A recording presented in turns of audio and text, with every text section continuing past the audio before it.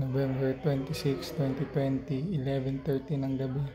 Bukas ng alas 8 ng umaga ang opera ko. November 27. Nanonood pa ng TV yung kasama ko dito sa ano, kwarto. Kaya hindi ako makatulog pero tutulog na din ako. Subukan. Hmm.